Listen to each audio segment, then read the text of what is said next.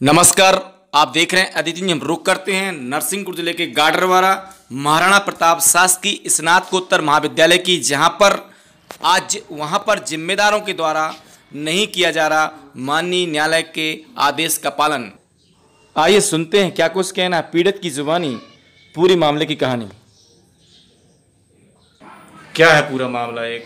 मैं विनीत कुमार नामदो 2006 से अपनी सेवाएँ महाविद्यालय गाड़ावाड़ा में दे रहा था।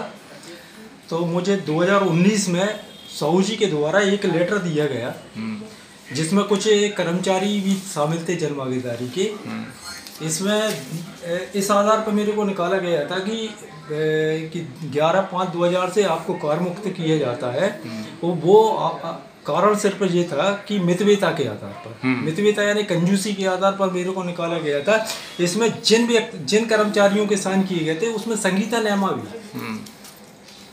संगीता नेमा का भी नाम था जिनसे सिग्नेचर करवा कर यथावत रखा रखा गया है उनको वो मेरे को निकाल दिया था अच्छा। इसका आवेदन मैंने माननीय विधायिका महोदय सुनीता पटेल जी को दिया था कि मेरे को निकाल दिया लेकिन शासन का भी आदेश मेरे पास है तो उसकी एक कॉपी भी मैंने उन, उनको उपलब्ध करवाई थी तो उन्होंने इस इसको एडीएम कार्यालय में रजिस्ट्रेट करवा दिया था तो रजिस्ट्रेट करवाने के बाद मैंने शासन के जितने भी आदेश थे और महाविद्यालय की अनियमितताओं के जितने भी आदेश थे मैंने माननीय एडीएम महोदय को उपलब्ध करवाए जिसके तहत सुनवाई की गई।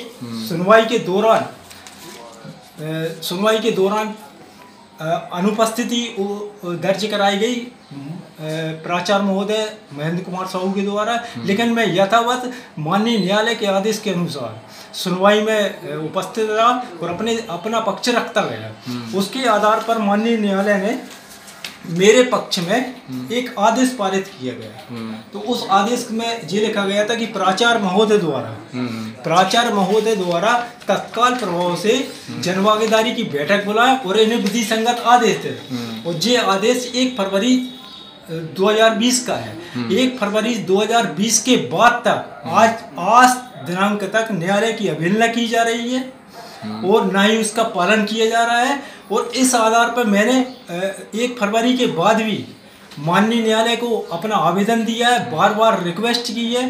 वो उनको बताया है कि मेरी दो बालिकाएँ मेरे मेरे साथ अन्यायपूर्ण व्यवहार किया गया है। क्या चाहते हैं आप? क्या होना चाहिए इस मामले में पूरा? मैं शासन और प्रशासन से सिर्फ़ इतना ही अनुरोध करना चाहता हूँ कि जो न्यायालय के द्वारा मुझे आदेश दिया गया है और प्राचार्य महोदय को आदेशित किया गया है कि तत्काल जनभागीदारी की बैठक बुलाए और विधि संगत आदेश की एक कॉपी आवे- आवेदक को दें और यथावत कार पर बुलाया जाए जिससे मैं अपने परिवार का पालन पोषण कर सकूँ।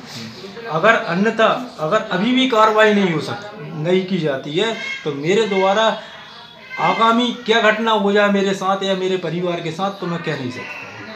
इसको किसको जिम्मेदार समझेंगे? इसका इसकी पूरी ज़िम्मेदारी महाविद्यालय गाड़ा प्र- गाड़ावाड़ा की प्रशासनिक की अधि, अधिकारियों कर्मचारी की होगी और माननीय न्यायालय एवं कलेक्टर साहब की होगी। क्या नाम आपका? मेरा नाम विनीत कुमार नामदेव है।